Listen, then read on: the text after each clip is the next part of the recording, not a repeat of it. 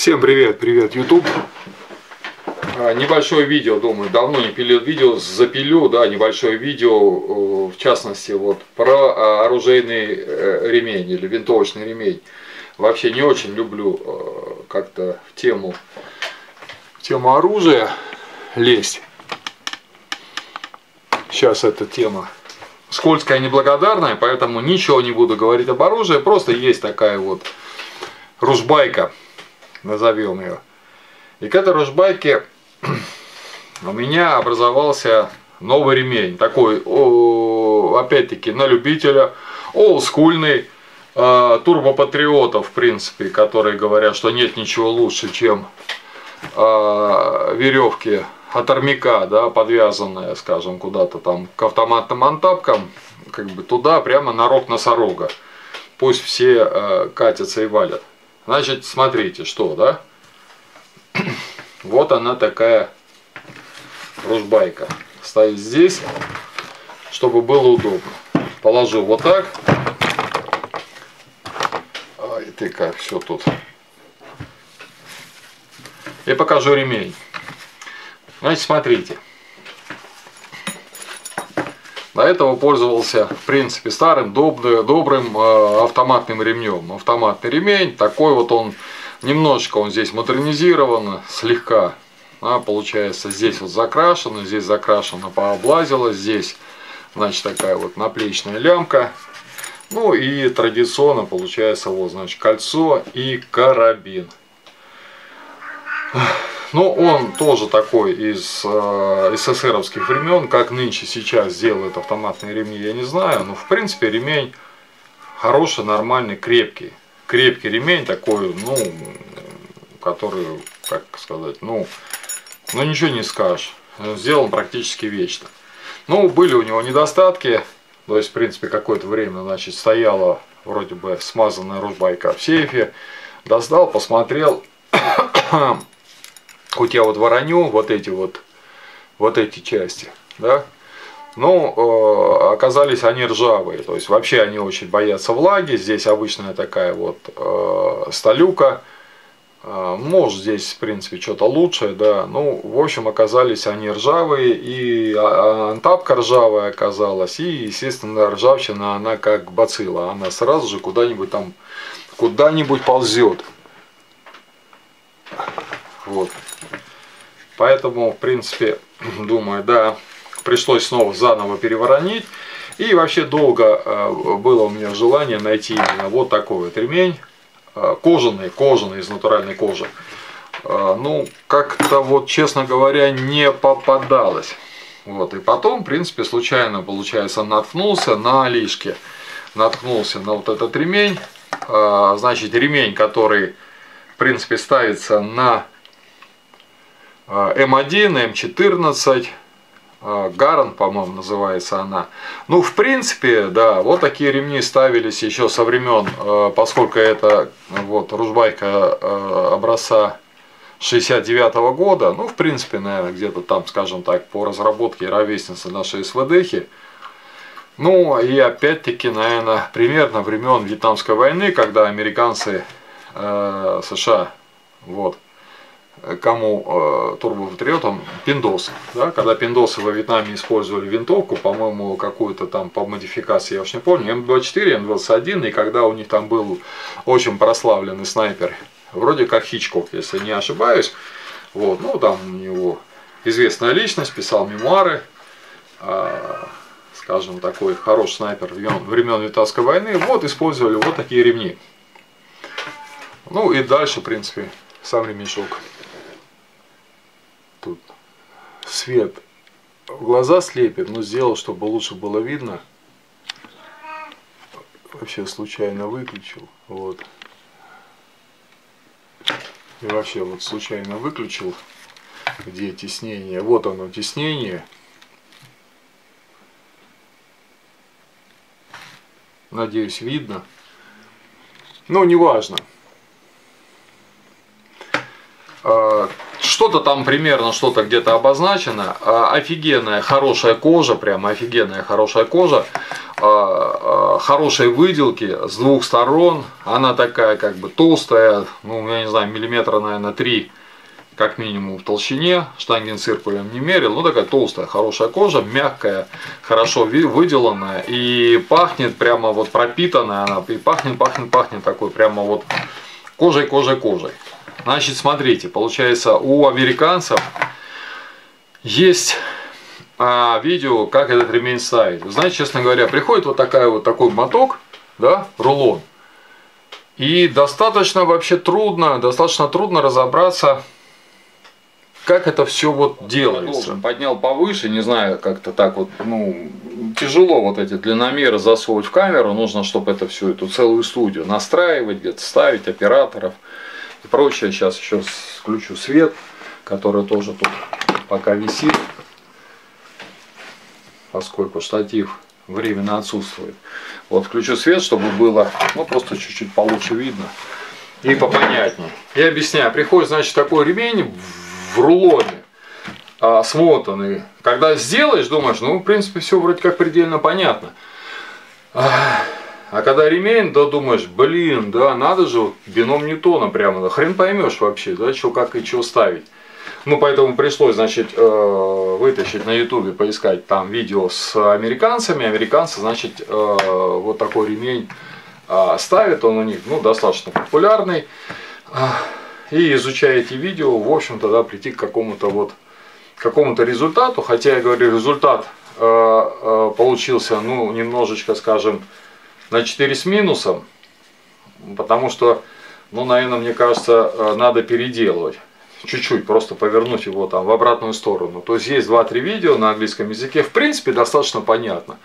По крайней мере, я, изучая это видео, ну, сумел собрать этот ремень вот в кучку. Хотя на самом деле это, э, как это, достаточно э, такая история загадочная, собственно говоря. Что мы имеем? Ремень, в принципе, э, шириной 33 миллиметра. Вот э, здесь, на этой ружбайке, антапки, в общем-то, 30. И здесь, вот если посмотреть, вот. Здесь антапка.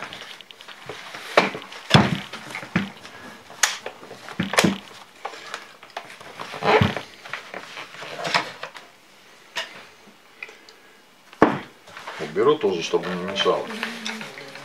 Вот. Здесь вот тоже антапка, в принципе, шириной 30. Но с этой антапкой всегда проблема. Коты. С этой антапкой всегда проблема, даже с автоматным ремнем. Видна она. А, сюда его хрен засунешь, потому что у автоматного ремня тоже там такой жесткий кончик, я уж там не помню. То есть приходится ее, здесь два винта, ее приходится а, отсюда откручивать, поддевать и просовывать. В общем-то здесь тоже пришлось поступить так. Ну что такое, а?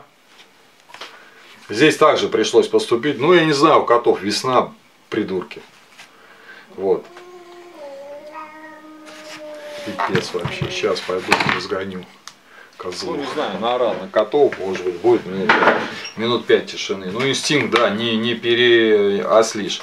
Здесь где-то антапка получается шириной миллиметров 30, может даже меньше. Я не знаю, почему австрияки а, вот решили сделать такие вот узенькие антапки. Вот. Ну, как-то так вот. У европейцев оно всегда все как бы заужено. То есть рейтузы должны быть приталенные. Вот здесь тоже, вот антапка видна она, да, она тоже шириной миллиметров 30. Ну, теоретически, теоретически, да, но просто у меня нет больших широких антабок, это потом, если задуматься. На охотничьем э, оружии или вот обычные антапки, они тоже узкие.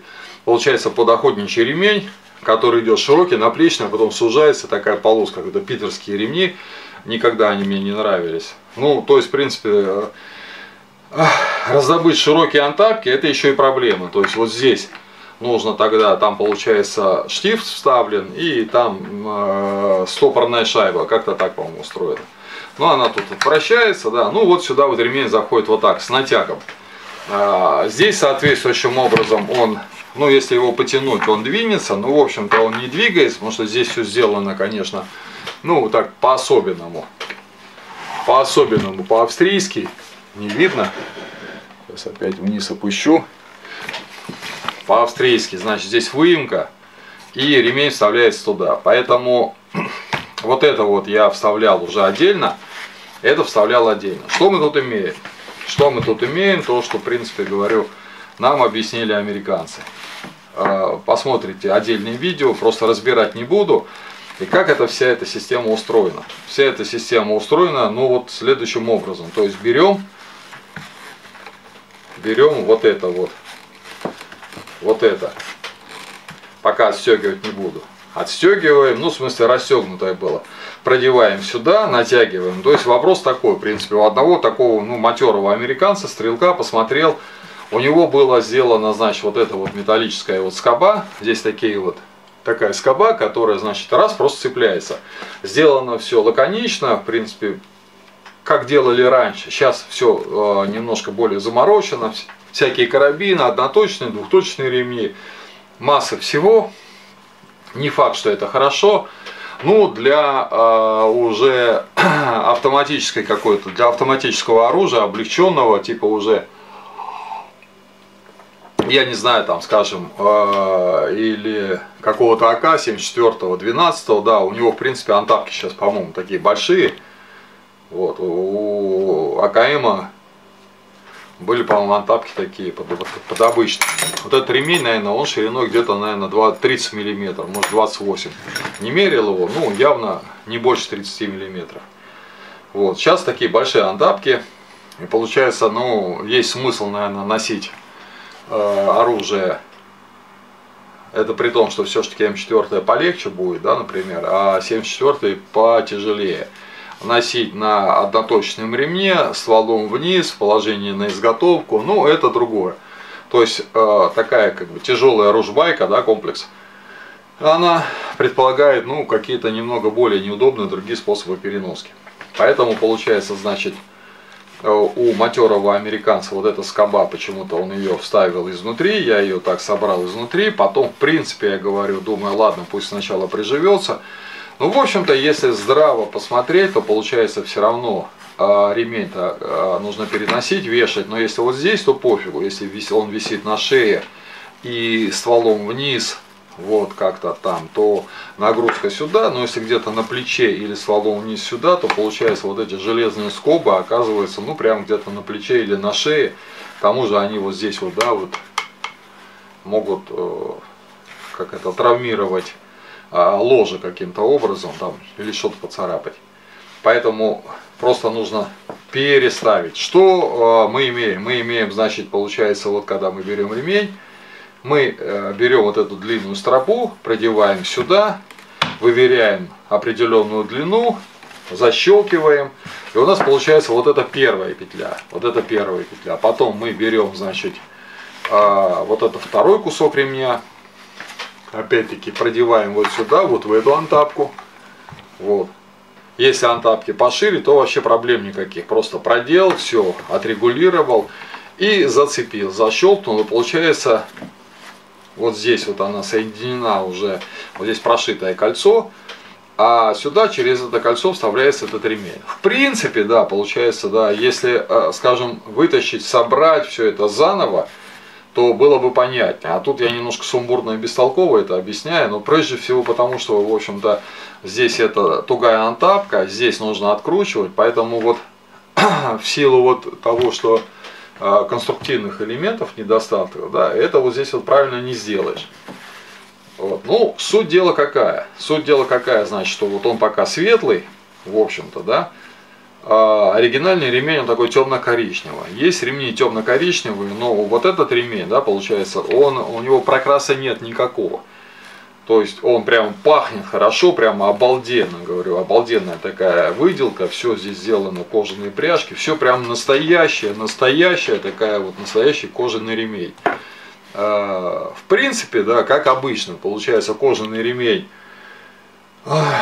ну, менее, а, скажем, устойчив, менее подходит к влажным условиям, в принципе, да, наверное, он а, в воде имеет э, свойство там как-то деформироваться, растягиваться в условиях джунглей или влажной атмосферы, наверное, он имеет там свои какие-то там свойства негативные. Но сам по себе, вот, э, я, в принципе, давно, скажем, мечтал о таком ремне. И вот просто я говорю такое вот событие счастья, что в конце концов, да, я вот свою ружбайку до да, апгрейдил, по крайней мере, до ремня. Была у меня, конечно, идея, потому что все-таки вот это вот ложе, вот это ложе, да, обычное такое пластиковое, здесь никакого, как это называется, бединга нету, потому что это вообще, не знаю, по хреноебина какая-то, ну, кому-то там, кому делать нехер, а, и кто хочет там деньги куда-то отдать, ну, можно там что-то там заливает эпоксидкой, что-то ставит, потом что-то там подгоняет,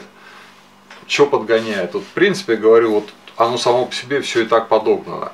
А, с этим ложе, которое пластиковое, ничего лучше не сделаете, потому что, в принципе, да, а, если в отличие от того же самого М24 или HS Precision, да, например, которых сейчас уже и нету, и, жаль, да, что такого оружия на нашем рынке нету, не будет. Ну, соответственно, наверное, и АВшки сейчас уже хер найдешь. Но я бы сказал, что в плане красоты и классического исполнения а, а, а, этот HS, HS Precision мне как-то даже больше нравилось, тем более, что там еще была возможность смены стволов, прочее, и там стоит, в принципе, внутри такая алюминиевая шина. Здесь нужно, получается, алюминиевую шину, на которую ставится уже ресивер – и вывешенный ствол. Ну и здесь получается должна быть масса регулировок. А, Все это было сделано тогда давнишнее, да, как вот на СВ-духе, например, да, короткий приклад, неудобный а, подщечник и все остальное. В общем-то, все так и осталось, перекочевало.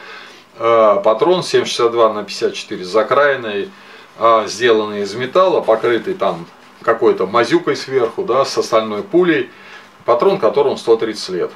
Вот. Ну, здесь, в принципе, получается калибр под 308, под патроны, которых опять-таки нету, да, потому что их нету, и они дорогие. Если раньше они были, они были по доллару за штуку, то сейчас проблема. Поэтому,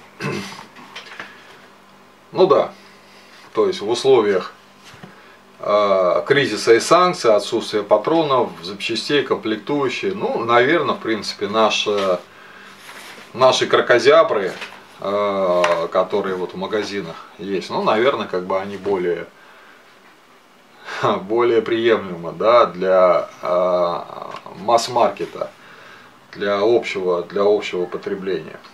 Вот. Ну, в любом случае, Учитывать надо, что ремень 33 мм под любые широкие антапки вставляется. Если у вас есть любое оружие, у которых широкие антапки, я бы, например, этот ремень рекомендовал просто потому, что он намного эстетичнее, намного лучше и намного удобнее, чем э, всякая там брезентуха или что-то. Да? Если взять какой-нибудь хороший ремень, там, не знаю, какой-то замороченный, эдакий, охотничий, да, то они тоже будут стоить недешево, хотя, наверное, в принципе, в сравнении с брезентухой автоматным ремнем, наверное, этот ремень дорогой. Вот. Какие еще отличия? Значит, американский ремень, получается, он коричневый, по-моему, у него кожа такая сверху прокрашенная. Но не прокрашенная кожа даже лучше, потому что она со временем э, оботрется и станет такой, ну, как бы, уже начнет темнеть.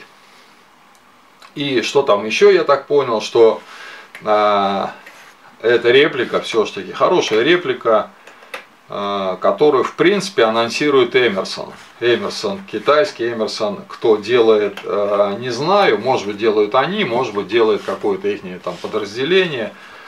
Ну, в принципе, я говорю, официальный сайт Эмерсон, да, вот мне предложил вот такой вот ремень. И еще по старой дружбе дали мне там какую-то скидку. Вот.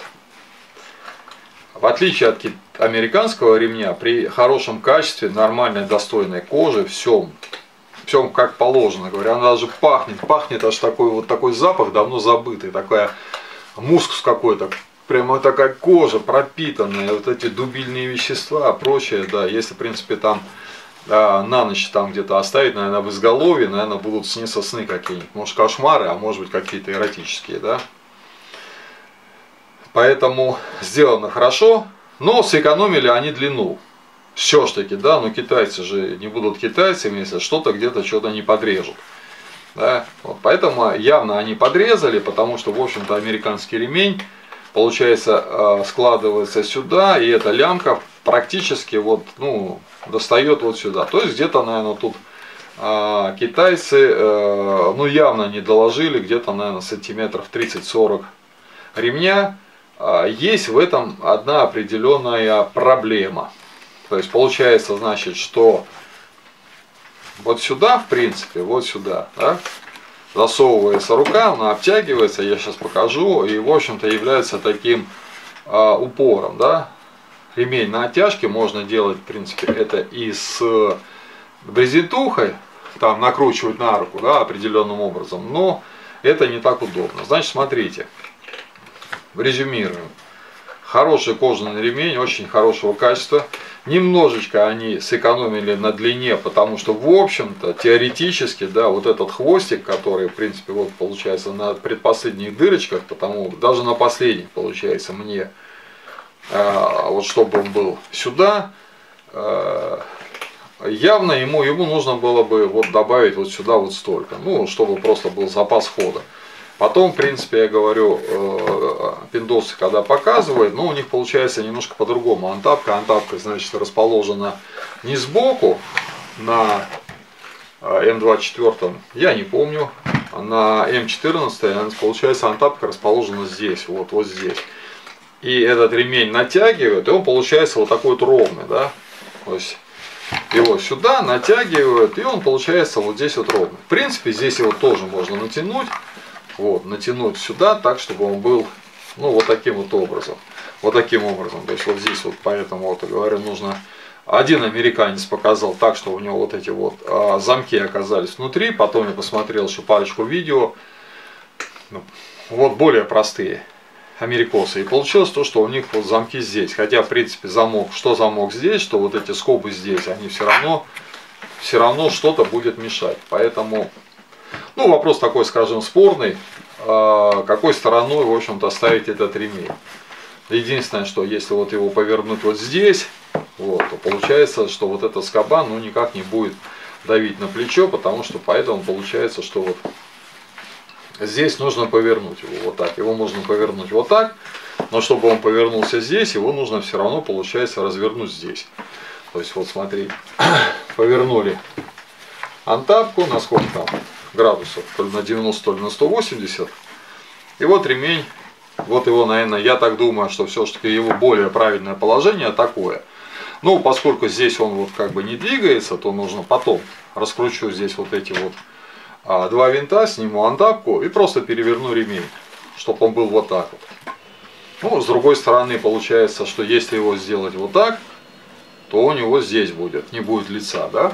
Поэтому долгие пространные рассуждения по поводу того, как же он должен быть сделан.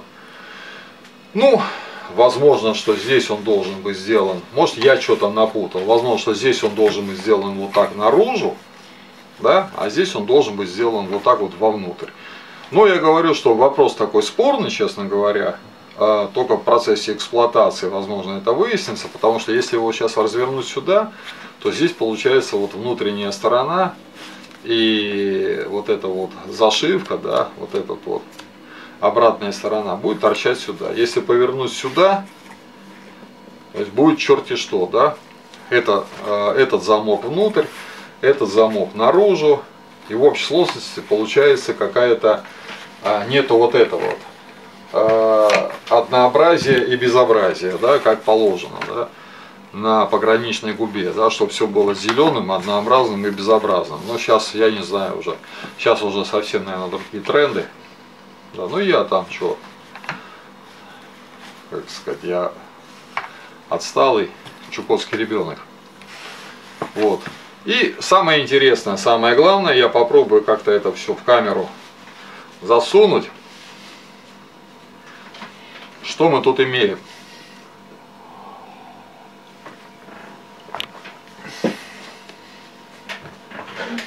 То есть вот мы тут имеем что? Следующее.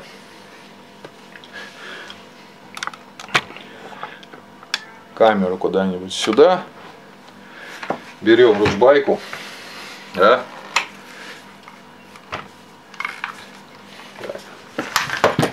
Поставим на нее сушки, потому что здесь все так неудобно.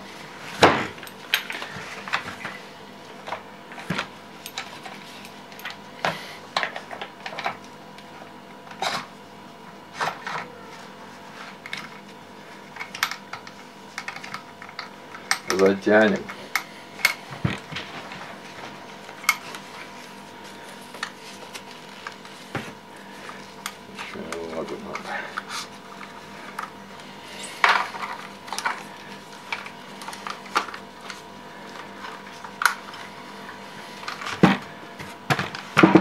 Ни хрена не видно там, что видно, что не видно. В общем, получается, сейчас.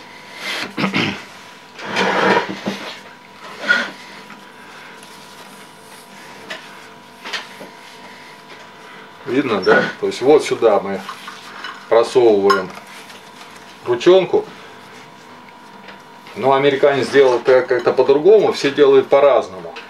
То есть сюда можно сделать две петли кожаные.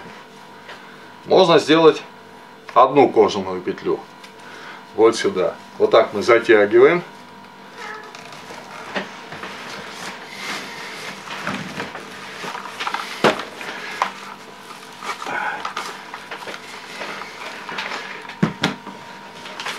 Вот проблема, да, то, что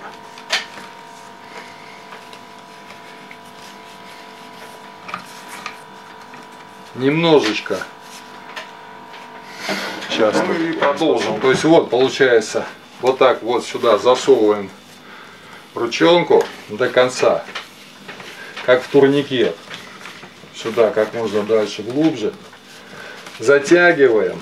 Но поскольку здесь вот а, замок жесткий, и остальное, потом получается, значит, пропускаем вот руку сюда.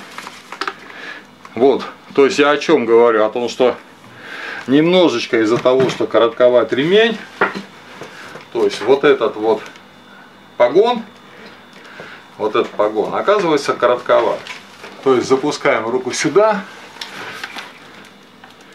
И в принципе получается мы имеем здесь упор. можно, можно в принципе вот даже вот так держать, но тогда немножечко ремень не совсем удобно ложится. Поэтому мы имеем вот такую вот движуху.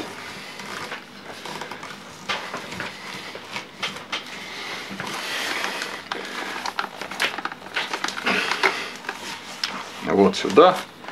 Раз, засунули. Вот.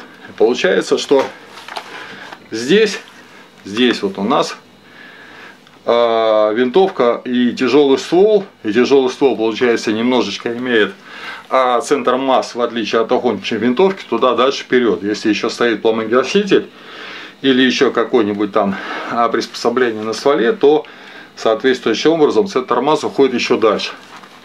И получается вот, вот так вот. Вот так вот она, да, натянута и удобно.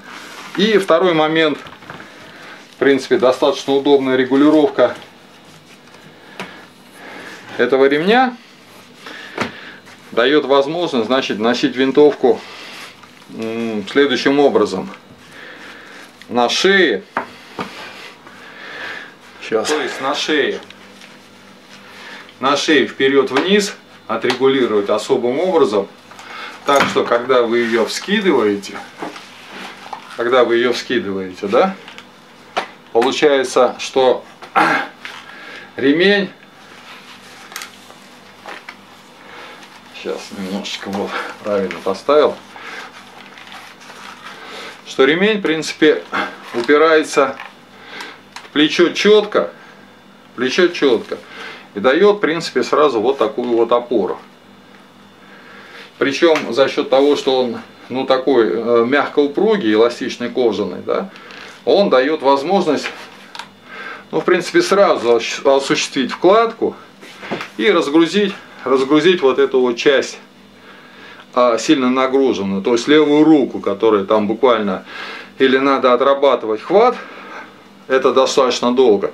Это как, наверное, в давние времена люди отрабатывали хват рапирный, сабельный, проще, укрепляли кисть. Ну и делали все эти движения. И этот хват тоже нужно отрабатывать. Ну, как бы я это давно уже не делал, честно говоря, и навыки стрельбы уходят, поэтому э, все это, э, скажем, уровень подготовки. Но поскольку, скажем, обычный человек все-таки имеет обычные руки, то этот хват слабеет.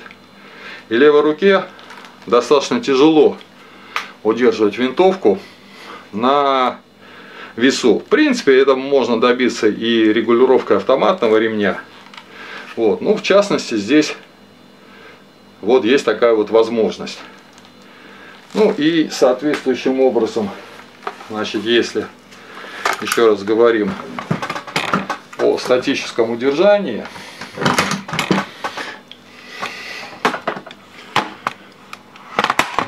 оружия. То есть в положении высокоточной стрельбы. Ну, то есть соответствующим образом можно сюда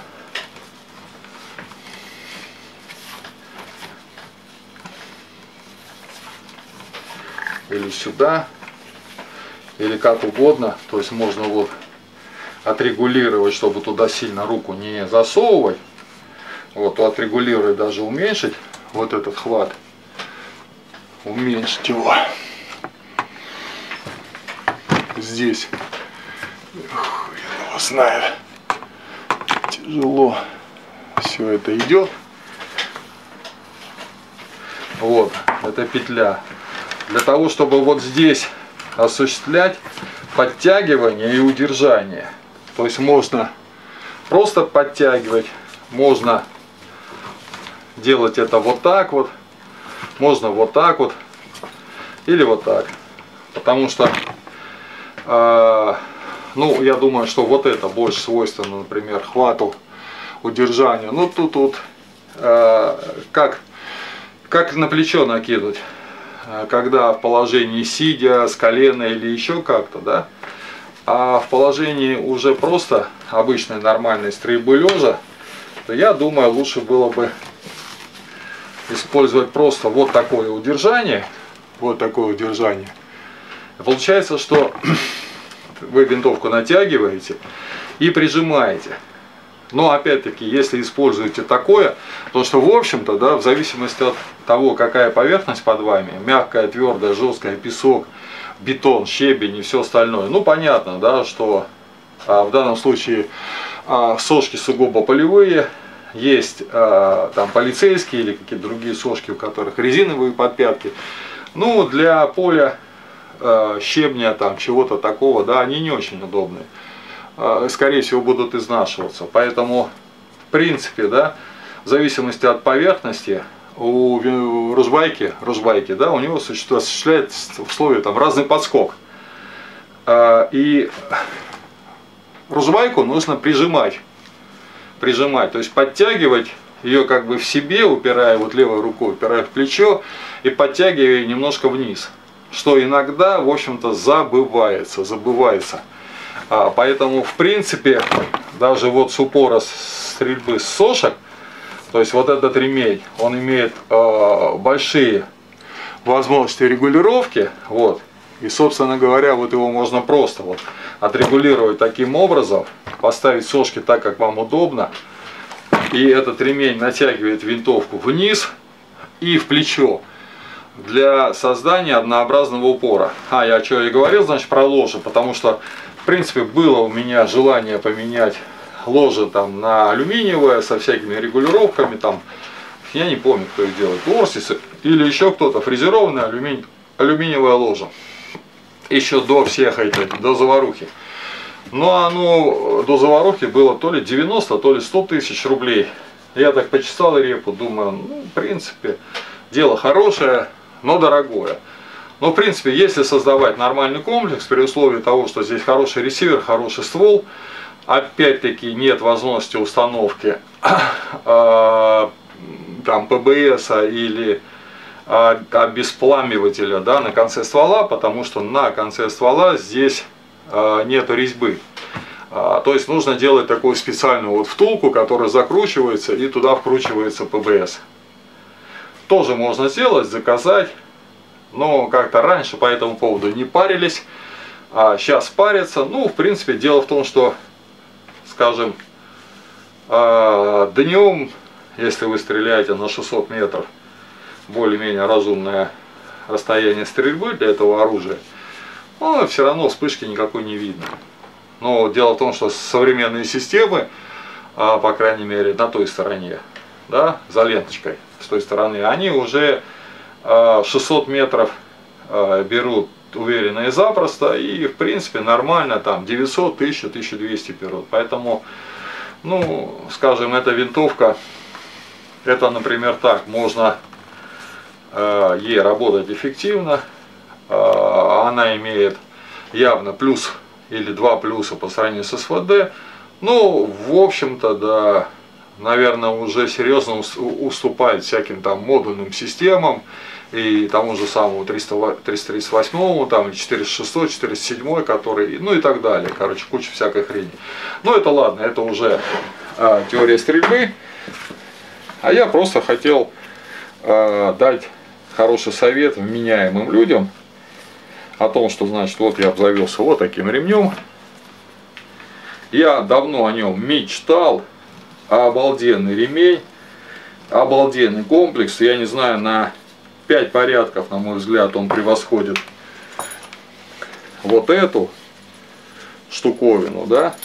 Ну, потому что, ну, это совсем уж совсем Ай, никакое. Хотя, в принципе, вот этот автоматный ремень, да, его можно использовать там как угодно. Можно, наверное, даже вот если его распустить, в конце концов, его можно, наверное, использовать если вот сюда зацепить и как одноточный, то есть просунуть вот сюда, вот в это кольцо, вот, и вот вам будет нормально обычно одноточный ремень.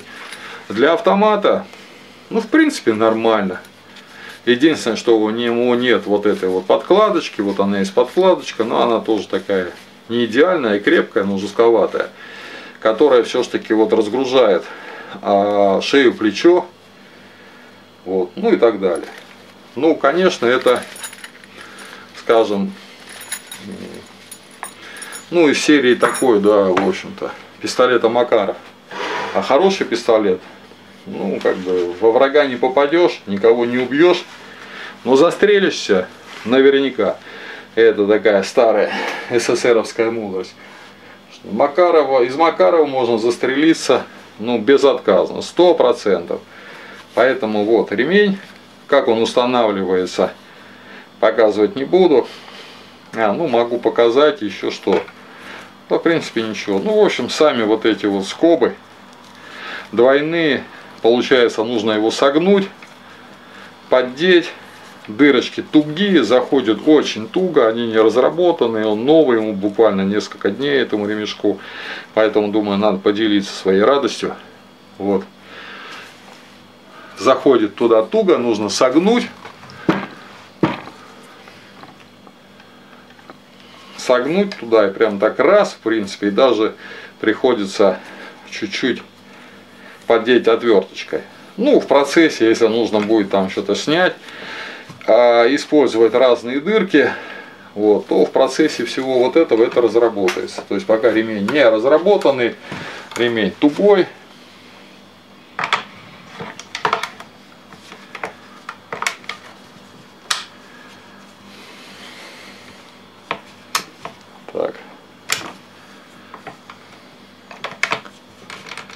Проверим, патронов нет. Все, говорится, чтобы YouTube не ругался. Патронов нет. Ничего нет. Затворник пустой. Оружие на предохранитель. Все. И вот ремень. Удобен для, он для автомата. Не знаю, мне кажется, наверное, нет. Для автомата он не подходит. Немножечко более длинный, если бы он был бы. Было бы лучше, потому что здесь нужен запас. Немножечко здесь китайцы сэкономили, потому что, в принципе, вот эта длина ремня отрегулирована по мне, чтобы можно было повесить на шею, на плечо. Его можно подтянуть, но для переноски нормальная длина, в принципе, позволяет осуществить схват, вкладку в плечо. А, петля отрегулирована, ну, более-менее нормально. Хотя, в принципе, я говорю, я просто не стал ставить на последние дырочки. Поставить петлю на последние дырочки или звену сюда еще, например, на пару сантиметров, возможно, было бы в чем-то лучше и удобнее. По крайней мере, для стрельбы а на весу здесь нужен запас. Ну, вот это вот, на мой взгляд, главный недостаток, то что э, почему-то они сделали его коротковато. Говорю, американские ремни, э, вот практически вот этот вот хвост доходит вот сюда. Ну и я думаю, что американский ремень будет стоить, может, сотню баксов, может, больше. Вот, плюс его хрен сюда доставишь, плюс доставка и вообще э, явно, наверное, они сюда не попадают. Ну, поэтому можно, теоретически можно его измерить. А, нет, нет. Ну вот, еще измерим. Я говорю, как-то так получилось, думаю, надо снять. Для тех, кто понимает, будет полезно. Для дебилов все равно все бесполезно. Вот. Для турбо-патриотов им, в принципе, я говорю, только, блин, пойти э, и разбить себе башку об стенку или застрелиться в дальнем окопе. Поэтому как получилось, так получилось. Вот, ширина 33. Дальше. Ну, если померить, а, длина вот этой петли 40. И плюс еще, грубо говоря, еще 25. Итого получается, ну, да, примерно вот 40. Ну и здесь где-то 25. Вот запас на петлю 20, 23, 24, ну где-то 63, 65, то есть вот этот маленький, короткий огрызочек. И здесь, ну и вот сюда вот добавим еще там какое-то количество сантиметриков. И эта часть в длину. И эта часть в длину получается вот она 54, ну пусть будет 55, это значит 110, да, если на 2 умножить. И здесь еще вот сантиметра по 4. Ну, где-то в районе 118-120 сантиметров, наверное, вот, вот эта вот сама петля. Хотя реально она должна была бы быть, ну, сантиметров на 20 длиннее, было бы нормально. Ну, если бы я как бы не видел у американцев, например, их оригинальные ремни, я бы думал, ну, в принципе, как есть, так и есть. Ну, у них он получается вот аж сюда до конца заходит, вот этот хвост. То есть вот тут вот чуть-чуть они сэкономили. То, что касается всего остального, нормально сделано. Нормально тут вот хорошо Вот так вот они вытаскиваются. Нормально, хорошо проклепано. Надеюсь, сейчас уже здесь дырки разработаны. Не знаю, вставится или не вставится. Видно? Ну, то есть примерно вот так вот туда засовываются. Потом вот так затягиваются. Вот, собственно говоря, получается. Вот так. Нормально, хорошо проклепано, хороший замок толстая такая скоба, мощная, надежная и прямо обалденной выделки. Э, я даже не уверен, что, скажем, у американцев вот выделка кожи лучше. Потому что она как бы вот грубоватее, дырки побольше и прокрашенная. Э, я думаю, что вот, вот такая выделка кожи, возможно, лучше. Ну, с другой стороны, э, американцы в основном, когда что-то делают, они никогда не делают плохо. Они делают вот сам квалитет, винтовка М4, М14, М1, да, и прочее, да, и сам квалитет, качество обработки, детали очень хорошие, в отличие от нашего э, изделия военпрома, где, в общем-то, когда-то хорошие задумки, и, может, даже когда-то в 70-х годах э, хорошее исполнение. Нынче, в принципе, э, все это технологически на тройку. Все сделано технологически на тройку. Если посмотреть, вспомнить даже времена гражданской войны, то все эти наши хваленые трехлинейки, где все постоянно заедает, где все там э, шабером каким-то там это как-то там от э, кое-как подогнано, да, каким-то рашпилем там что-то подпилено, э, где затворы, которые еле-еле там душа в теле еле-еле ползают, эти затворы туда-сюда. И вспомнить те же времена гражданской, когда в принципе ценились э, те же самые манлихеры, вот, и американские винтовки там они, и британские, которые были там, Ленфильд или там Гарант, я не знаю чего. Просто потому что как бы нормальное, стабильное, хорошее качество.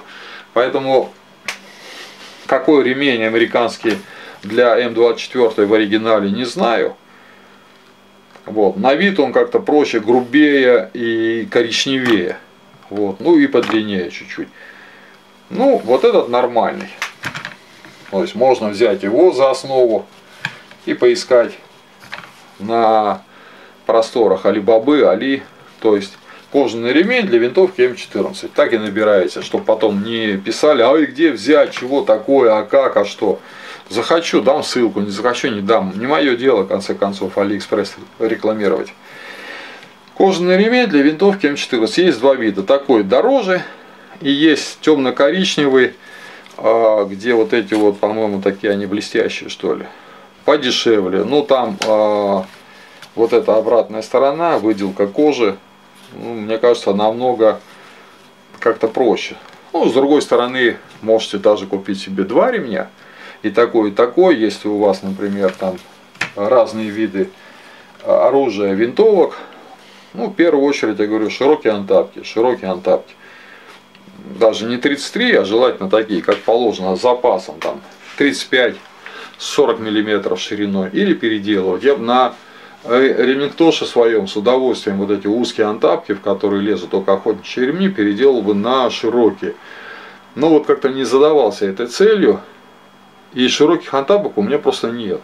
Надо их где-то искать. Ладно, все, всем пока. Сборка этого ремня, когда его собираешь, думаешь, вроде как проще пареной репы.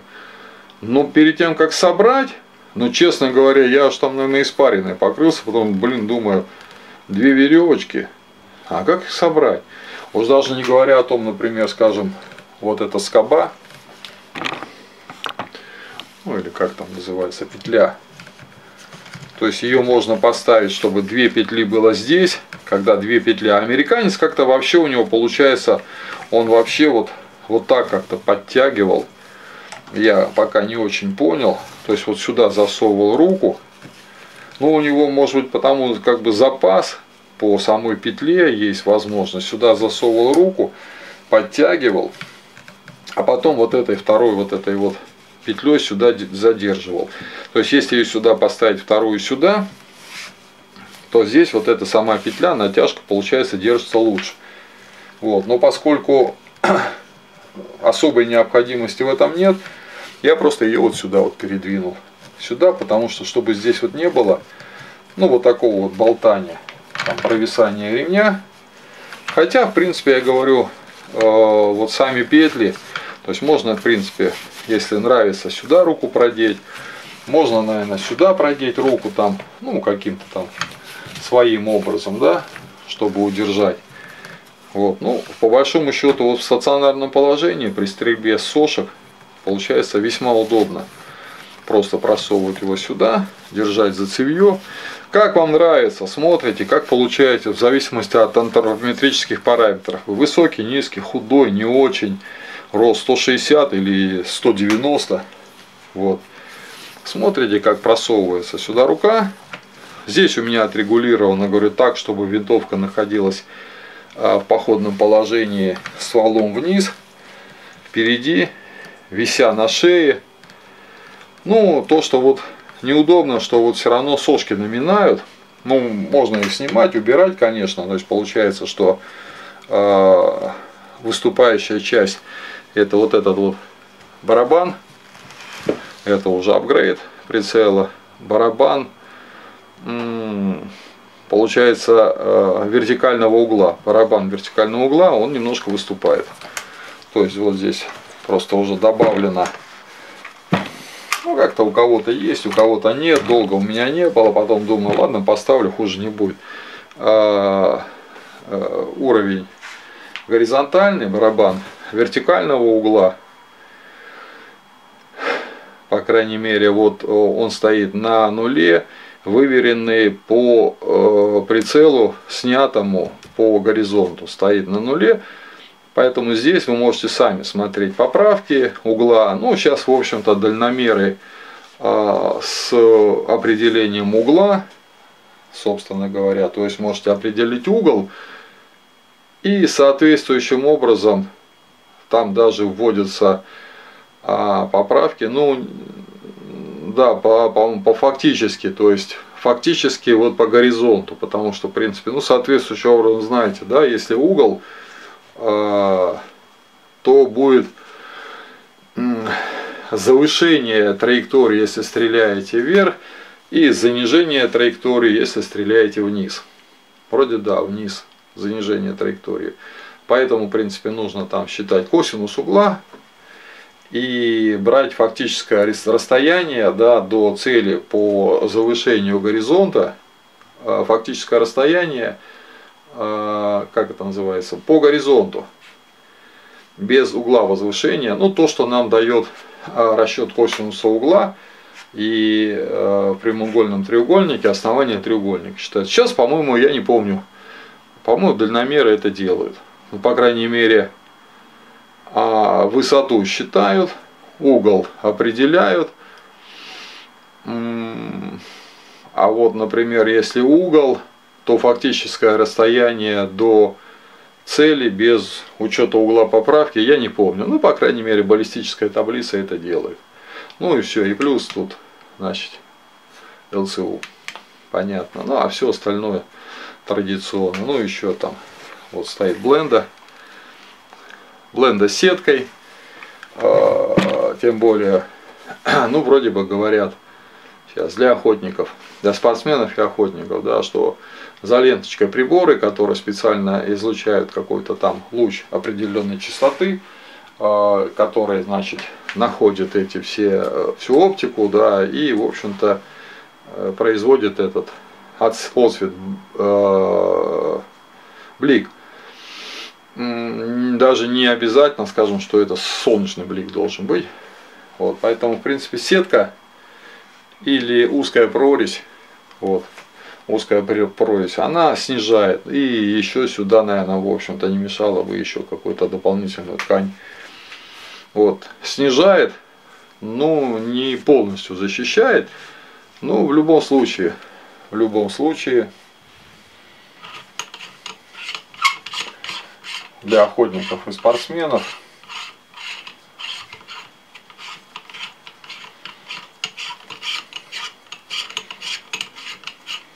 Ну когда ж ты открутишься? Не пойму я. Сколько там резьбы? Для спортсменов и охотников вот это, я думаю, желательно, потому что, ну, в сумерках, ночью, конечно, световой поток она обрежет, потому что и оптика режет световой поток, и блендер режет световой поток, и эта сетка. Вот. Ну, как бы лучше немножко зарезать световой поток, тем более, ночью, если луны нет, в оптику все равно ни хрена не видно. Ночью надо тогда смотреть в ПНВ или в специальные насадки, или через а, теплак и так далее. Или такую вот, где такая вот узкая прорезь честно говоря, такой никогда не пользовался. Ну, можно, собственно, сюда просто сделать тканевую насадку. И в тканевой насадке просто вырезать такую узкую горизонтальную дырку. Так что вот так вот. Ну и сам ремешок. Все, а еще хотел добавить по поводу... Видно его? Сюда направлю. По поводу ЛЦУ. Э, здесь зеленый луч ну, долбит он хорошо, метров на 200 на 300 для э, спортсменов и охотников комплекса трудно сказать, скажем, нужен он или нет. Вот. Ну, в принципе, да, его можно, в общем-то, на 100 метров, а, там или на 200, на 300, наверное, настроить. Ну, днем. Днем я думаю, что э, он виден плохо. Сейчас я не знаю, попробовать. Ну, через стекло, через стекло он отсвечивает. Ну, ну, наверное, теоретически метров на 100-150 днем, наверное, можно рассмотреть. Если поставить яркий луч, здесь два параметра. А, ярче, бледнее, ну, вечером в сумерках, ночью, в принципе, да, в городе, в условиях там наличия освещенности, то есть он виден. Это понятно, да. Ну, можно его не использовать.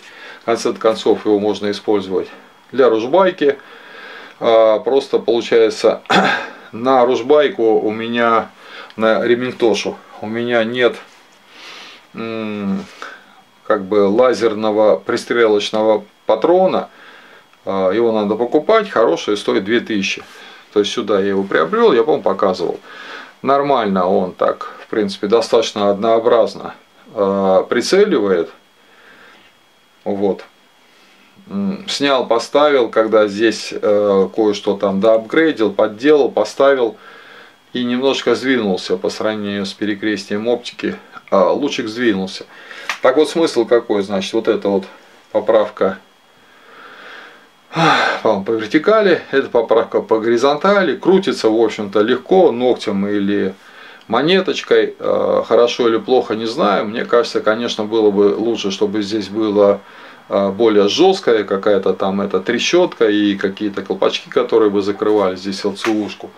Потому что, в принципе, может сбиться. Ну, в общем-то, он быстренько выверяется по перекрестию. Э, для ремингтоши было бы удобно, скажем, для открытых прицельных приспособлений, но нужно, в принципе, сначала, в общем-то, или пристрелять, что долго и хлопотно, или выверить просто э, мушку и целик по пристрелочному патрону, потом поставить туда ЛЦУшку, я думаю, на коротке, на расстоянии 50-100 метров, его использовать более целесообразно. Здесь какой вот недостаток именно, да, попробую объяснить. А, в общем-то, все вот эти вот моменты, да, канонические, являются этот увеличением высоты цели, потому что, ну, рекомендуется сюда какие-то вот антибликовые материалы, хотя в нынешних условиях высокотехнологичных приборов, возможно, это не суть важно. То есть, чтобы открывалось сюда, сюда по возможности, чтобы ничего не выступало там а, выше горизонта, потому что башка в принципе, здесь, в общем-то, наверное, она... Но если в шлеме, то будет выше намного. То есть еще вот сантиметров на 15, наверное, торчать над оптической осью. А, и казалось бы, да, вот выступает, выступает вот эта ЛЦУшка сюда, получается, над барабанами, торчит сюда. И я пробовал его поставить в бок. А, пробовал поставить в бок, в итоге все равно разболтался, да, даже аккумулятор сел, э, рассусолил и как всегда, да, там вокруг да около и не по делу. Ну да ладно, в принципе, кому интересно смотрит, кому не интересно проходит. Есть. Есть, наверное, другое. Другое, чего интересно. Вон, можно ТикТок смотреть. Короче, получается, что по логике вещей все очень просто. Этот кронштейн отвинтить, а, повернуть и сместить его, вот, например, вот сюда. Ну или сюда. Ну, разумно, да, если там правой рукой орудуем. Здесь я, правда, вот сделал две, а, как этот, мамки липучки поставил под выносную кнопку, отрегулировал, сделал сюда и сюда, в зависимости от там, разницы хвата.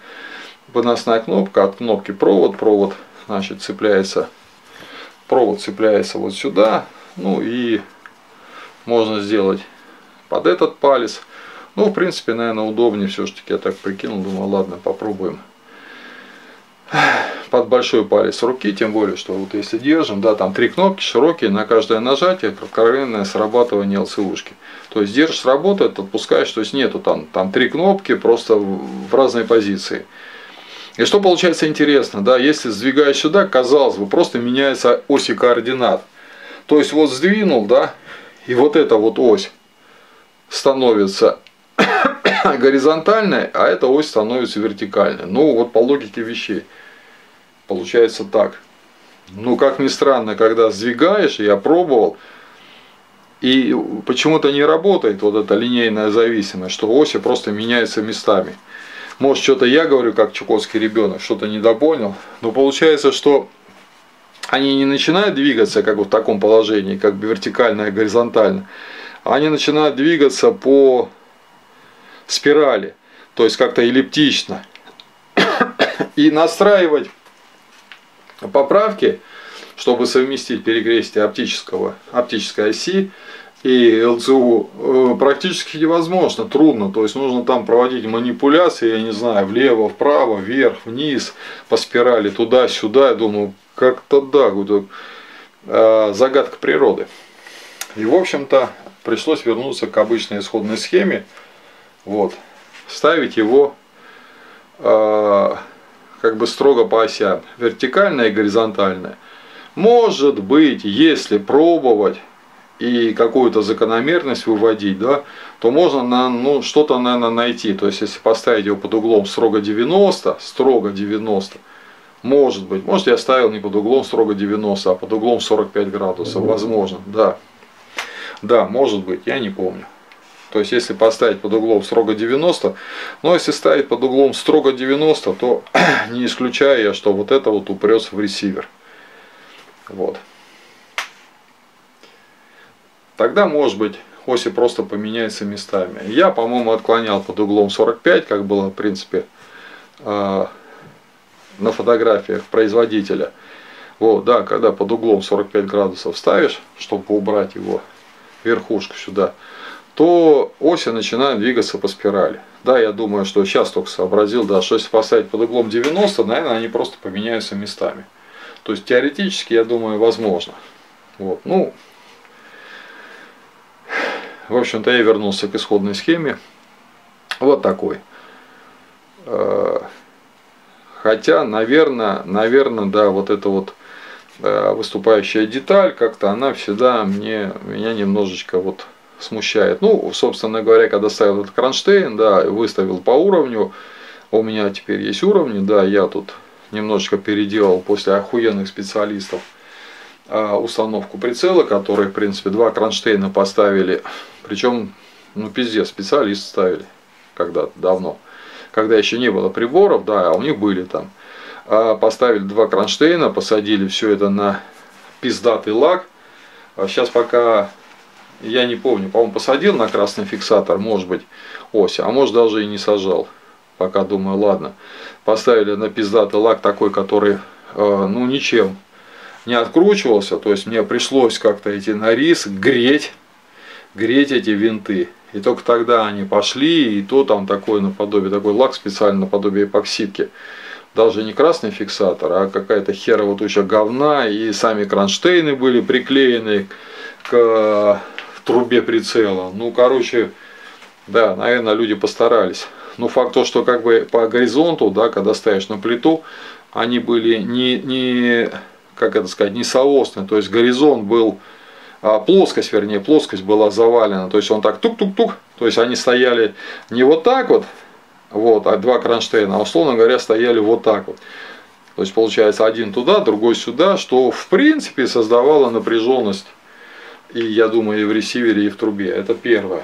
Ну и второе, а, в общем-то, да, тут получается достаточно трудно выверить его по горизонту прицел потому что у него нет специальной площадки. Но Night Force на Льюпольде, на Шмидбендере, сейчас не знаю как. Вот. Ну, у них есть такая специальная площадка, которая как бы строго выставляет горизонт. Здесь нету. Нету ее ни снизу, вот, нету нигде тут сверху. И я там пытался приспособиться, где-то снизу привязаться, прочее. Ну, никак. Не получается. То есть, в принципе, единственное, что э, вариант откручиваем эти крепежные э, стопорные вот эти вот винтики э, барабана поправок, барабан снять И, в общем-то, условно можно принять, что вот торец барабана, ну, в принципе, нулевой горизонт. И по нему выставлял, мерил. То есть, в принципе, я вам советую иметь два уровня, они там разные. Есть такой магнитный, а первый, который, значит, цепляется сюда, вот к ресиверу, да, здесь вот горизонтальная направляющая, магнитный. А выставляем по горизонту винтовку, а второй ставим сюда, снимаем а, крышку барабанных поправок, ставим сюда уровень и выверяем их так, чтобы они, в принципе, были идентичны, одинаковые и в горизонте. Единственное, что просто уровни, наверное, бывают разными, но старался взять самые нормальные, но в любом случае, ну их качество, то есть э, с учетом того, что там трубка, в трубке двигается шарик, это понятно. Но э, все это находится вот в таком механизме, да, пластиковом, который должен, в общем-то, основание вот этой опоры этого уровня и трубку э, с уровнем делать э, строго параллельными. Что в принципе, в общем-то, да, э, оставляет разные вариации, что возможно там какие-то отклонения. Конечно, э, сам угол должен быть, э, наверное, в металлическом или в каком-то силуминовом корпусе. Э, он должен наверное, на какой-то плите вставлен быть, основание опора отшлифовано, выверено, да, то есть все углы должны соответствовать. Когда сюда ставишь магнит, то же самое, да, нужно выверять по плите. Ну, это, наверное, уже какой-нибудь, может, хороший прибор, который там будет стоить уже там других денег. Может, они такие есть. Но это уже следующий уровень. Это уже когда, ну, совсем, когда у вас вот специализированный центр, и когда у вас серьезная настройка возможна, и когда вы там под 406, 407 э, патрон, да, что-то готовите, какое-то оружие, которое у вас на, на 1500 должно долбить, там, наверное, что-то требуется более серьезное. Здесь 600-800 метров достаточно. Ну, обязательно, значит, э, уровень такой на магните, он выступающий уровень, выверить горизонт винтовки, снять, или если есть площадка на Force каком-нибудь, то есть поставить, выверить, да, потом соответствующим образом повернуть прицел, вот, и зажать, и по возможности как бы еще его снять и проверить, чтобы а, основание опоры колес была горизонтально. Ну, в принципе, даже если здесь вот получается старая система, ласточкин, ласточкин хвост стоит, ну, даже сейчас, если вы ставите на Пикатине, да, на Вивер, на Пикатине, то все равно вы ставите там два кронштейна да, на Пикатине, с учетом того, что Пикатине имеет э, фрезерованную основу, не просто там литье, а на какой-то там уже хорошей рельсе, фрезерованную основу, но все равно нужно выверять, горизонт проверять, то есть, чтобы там все было, да. И в любом случае вот эти кронштейны нужно проверять на по плоскости, ну и соответствующим образом э, перекрестие прицела, сам прицел ставить в одном горизонте с винтовкой. Ну это понятно, да? Короче, для спортсменов и охотников. Так что, в общем-то, вот так вот, да? Вот такой ремень. Ну и такая вот вся эта вот балда на русбайке. Ну, в принципе, еще я вот обзавелся поскольку, говорю, сейчас не стреляю, и хорошие патроны это редкость, и очень дорогое удовольствие, да, поэтому, ну, я вообще рекомендую просто обзавестись пристрелочным патроном, комплексами, да, там, хорошим каким-нибудь пристрелочным патроном, и просто-напросто периодически, да, при снятии установки и всем остальном, просто выверять оптику. А соответствующим образом, значит, э, забыл. А, ну, поставили, выверили там в точку, да, э, на 100 метров, отмерили там дальномером 100 метров, выверили в точку э, пристрелочный патрон, красный лазер, вот. Если он хорошего качества, ну, он, в принципе, достаточно однообразно, однообразно становится. То есть, вытащили, вставили, вытащили, вставили, раз здесь проверили и посмотрели, да, как он там совпадает перекрестие принципе совпадает, там буквально плюс-минус там совсем немножко, может быть. Вот. На хорошем, который, скажем, стоит от 2000 там и до 10. Да? Ну хотя бы от 2000. Который 500 рублей, все там жалуются, ну это вообще несерьезно, да. Ну а потом, в принципе, выверив там на 100 метров, просто-напросто э, барабаном вертикальных поправок вывести, сколько там превышение у поля на 100 метров. Вот, да, старый маразматик. Не помню, по-моему, то ли на 3, то ли на, на 6 сантиметров. Да, по-моему, на 100 метров там превышение. Получается, надо просто посмотреть этот, ну, на коробках или в таблице баллистики там, да, там, вот что-то забыл, от 3 до 9 сантиметров, по-моему, 3 сантиметра э, превышение траектории, то есть, в принципе, занижение дырки на там 100 метров, грубо говоря, будет там минус 3 сантиметра.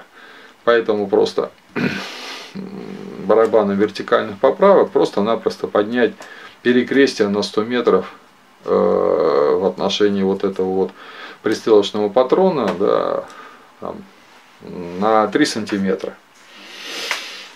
И все, ну дальше получается пристреливать. Просто выстрелили, если э, расчеты примерно верные, то ну, пуля попадет примерно туда. А дальше уже можно холодный будет немножко уходить. Надо же еще вести поправки на холодный выстрел. Холодный будет уходить, но если так более-менее э, примерно там со второго, с третьего выстрела должны уже привести винтовку на 100 метров к попаданию точно в перекрестие. Что всегда Э, проблема вызывает, потому что как бы барабан поправок, его нужно э, таблицу записать, ну как бы его возврат, установка в ноль в зависимости от цены и качества, лучше, хуже, на, на Force лучше, Люпальте, Шмидбендере, на Никоне, да, Милитаре.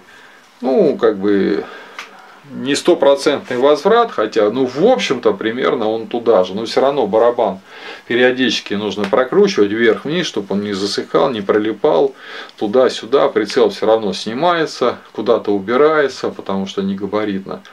При установке, да, происходит, ну, обычно стопроцентное смещение чего-то. Снял ЛЦУ даже, снял, поставил, казалось бы, ЛЦУ. Раз, а, лучик уехал отношения, в отношении оптической оси. Снял прицел, поставил, э, отрегулировал в ноль, сделал да, через э, патронник, через э, луч лазера. Снял, поставил, хоп, да, перекрестие куда-то сместилось. Ну, в принципе, это лучше, да, чем расходовать дорогущие патроны. Ну, будем ждать лучшие времена, когда, в общем-то, страна станет свободной, открытой, и мы будем жить и свободно, и по совести, и по справедливости, и ради э, благополучного будущего. Да? Вот. Когда-нибудь, надеюсь, это будет. Не сейчас, но потом, да. Э, в стране не дураков, но гениев. Вот. Так что вот так. Ну все, всем пока. Думаю, ладно. Давно, говорю, не делал видео.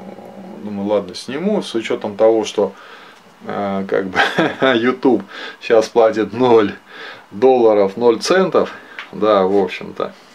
И рекламы нет, поэтому все это делается бесплатно, особо хитрожопые там всякие донаты какие-то запиливают. Ну, в основном что-то там стримы проводят. И как это, озвучивает вопросы за деньги. Я стримы не провожу, вопросы за деньги не озвучиваю, поэтому все это неблагодарный труд.